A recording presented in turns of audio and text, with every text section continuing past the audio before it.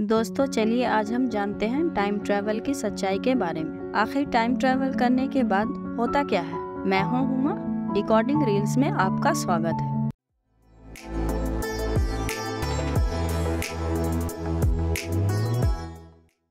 कहानी की शुरुआत 1874 के समय से होती है, जहाँ कुछ समुद्री लुटेरे एलिस नाम की एक लड़की के जहाज़ पर हमला कर दिए थे, मगर सफ़र से वापस आने पर एलिस की मोम बहुत खुश थी, क्योंकि एलिस कई सालों बाद लौटी है।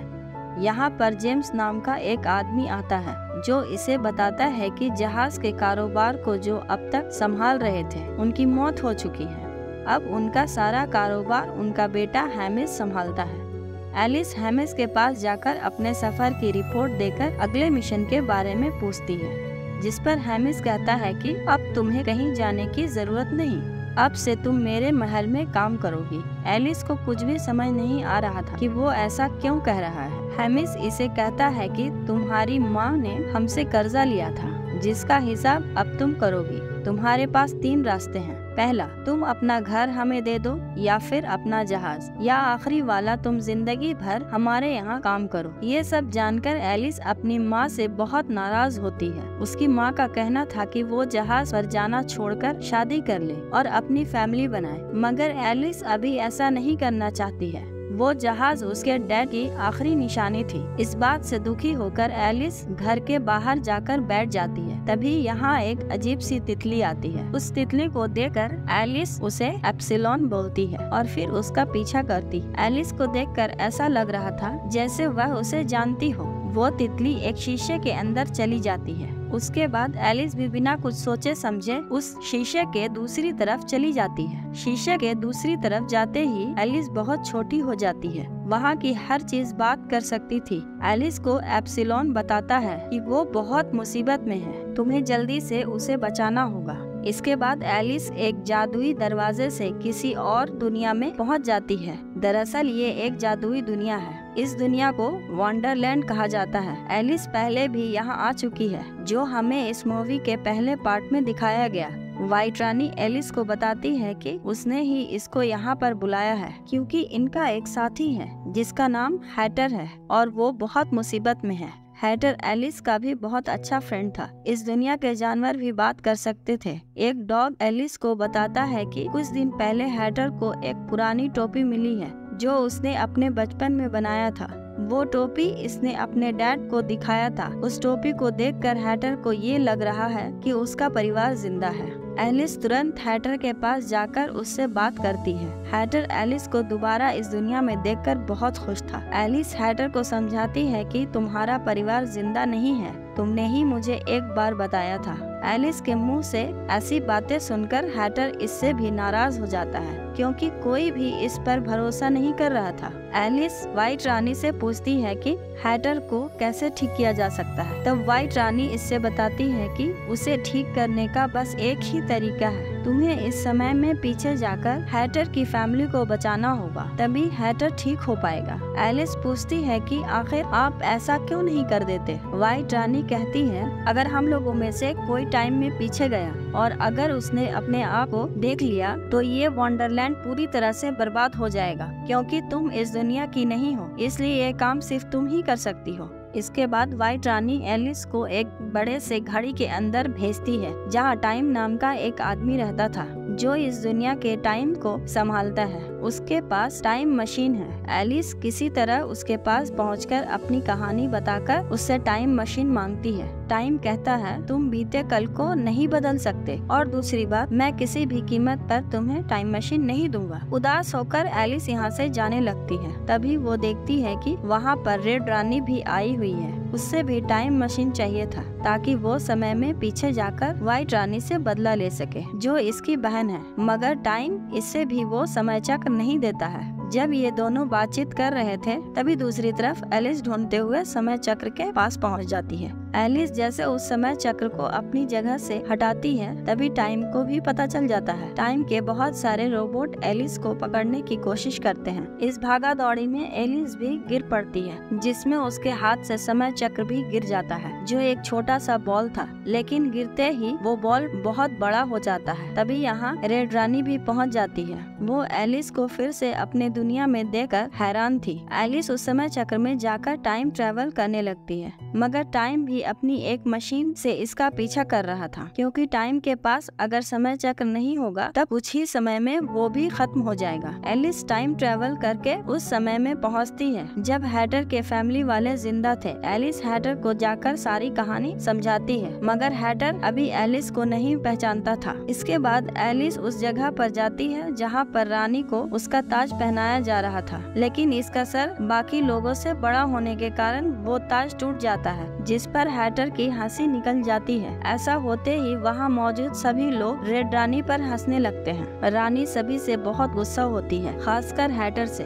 वो सबसे ये कहकर जाती है कि वो सबसे बदला लेगी। हैटर के डैड इस बात से बहुत गुस्सा करते हैं। इस बात से नाराज़ होकर हैटर अपनी फैमिली को छोड़कर हमेशा के लिए जा रहा था। एलिस उससे समझाती है कि तुम्हें अपनी फैमिली के साथ रहना चाहिए, मगर हैटर उसकी बात नहीं मानता। वापस महल की तरफ़ आने पर एलिस व्हाइट रानी और हैटर के डैड में हो रही बातचीत को सुनती है। व्हाइट रानी अपनी बहन के बारे में बता रही थी। जब वो छोटी थी, तब उसका सर किसी चीज़ से टकरा गया। तब से उसका सर बड़ा हो गया। बाकी वो दिल की बहुत अच्छी है, इसलिए आप लोग उससे डरे नहीं। ये सब सुनकर एलिस दिमाग लगाती है कि वो इस एक्सीडेंट को होने से रोक दे तो सब कुछ सही हो जाएगा। ये तुरंत उस टाइम मशीन को बड़ा करके फिर से टाइम ट्रेवल करने लगती है। इस तरफ़ टाइम एलिस के पीछे यहाँ आ चुका था। टाइम हैटर के पास जाकर उससे एलिस के बारे में पूछता है कि वो कहाँ गई, जिस पर हैटर और उसके जानवर साथी टाइम का ही मज़ाक उड़ाने लगते हैं। गुस्से में टाइम इन्हें एक ही टाइम लूप में कई घंटों के लिए फंसा देता है, जिसमें ये लोग बार बार एक ही काम कर रहे थे।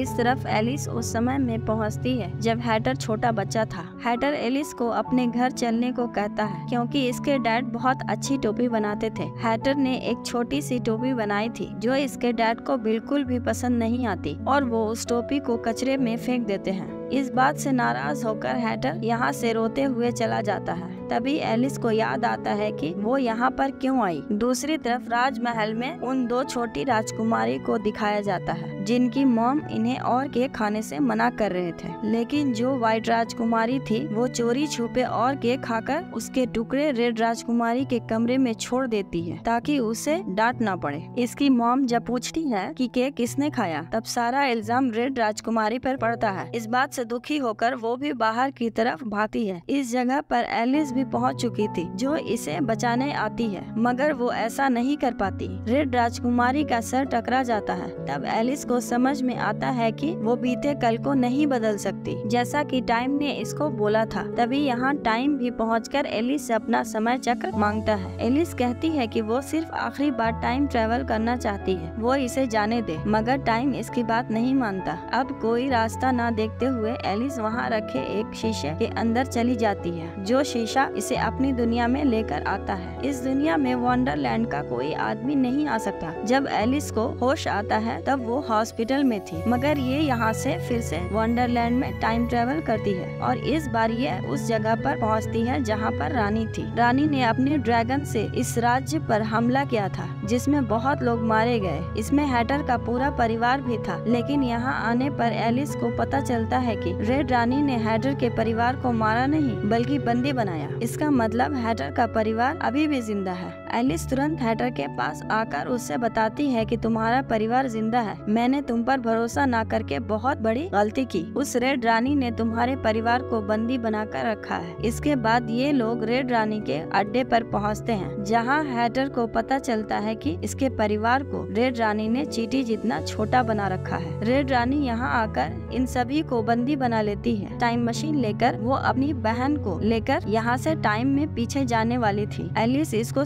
समझाती है कि मैं मैं फ्यूचर बदलने की कोशिश कर रही थी, पर मैं नहीं कर पाई। इसलिए तुम भी वहाँ मत जाओ। मगर रानी इसकी बात नहीं मानती और इसको धमकी देकर कहती है कि जब वो लौटेगी, तब वो सबको खत्म कर देगी। इतना कहकर वो अपनी बहन को लेकर उस समय में जाती है, जब वो के को लेकर झूठ बोल रही थी। उसको फिर से झूठ बोलता हुआ देख कर रेड रानी अपने बचपन के रूह के सामने आ जाती है। ऐसा होते ही वो दोनों जम जाते हैं। तभी एलिस और हैटर भी पहुँच जाते हैं, जो उस टाइम का दूसरा मशीन लेकर आए थे। लेकिन अब बहुत देर हो चुकी थी। ये दुनिया बर्बाद होना शुरू हो चुकी थी। इन्हें जल्द ही समय चक्र को अपनी जगह पर रखना होगा। ये लोग इस जगह से भाग रहे थे। इनके पीछे पीछे दुनिया खत्म हो रही थी। ये किसी तरह टाइम के महल में पहुँचते हैं। एलिस भागते हुए उस समय चक्र को अपनी जगह पर रखने वाली थी। लेकिन तब तक यह जगह भी पूरी तरह से जम जाती है। मगर एलिस ने अपना काम कर दिया था। देखते ही देखते सब कुछ फिर से नॉर्मल होने लगा है। वाइट रानी अपनी बहन से माफ़ी मांगती है, जिस पर वो इसे माफ़ भी कर देती है। इसके बाद हैटर की फैमिली को भी फिर से नॉर्मल कर दिया जाता है। अब एलिस का काम यहाँ खत्म हो चुका था। हालाँकि वो इस दुनिया से जाना तो नहीं चाहती, लेकिन उस दुनिया में उसकी माँ रहती है। एलिस सभी को गुड बाय कहकर शीशे के रास्ते अपनी दुनिया चली जाती है। यहाँ पर उसकी माँ उस जहाज़ को हेमिस के हवाले करने वाली थी। एलिस अपनी माँ से कहती है कि जहाज़ तो दूसरा आ जाएगा, लेकिन माँ तो एक ही है, इसलिए आप बिना सोचे साइन कर दो। ये सुनकर उसकी माँ कहती है कि अब मेरी बेटी बड़ी हो गई। इतना कहकर वो उस पेपर को फाड़ देती है। इसके बाद हमें मूवी का आखिरी सीन दिखाया जाता है, जहाँ एलिस अपनी मोम और जेम्स के साथ अगले सफ़र पर जा रहे थे। इसी के साथ ये जादुई दुनिया की फ़िल्म यही पर खत्म हो जाती है। दोस्तों, कहानी कैसी लगी? कमेंट में ज़रूर बताना। और पसंद आए तो एक लाइक कर देना। मिलते हैं नई कहानी के साथ अगली वीडियो में। Thank you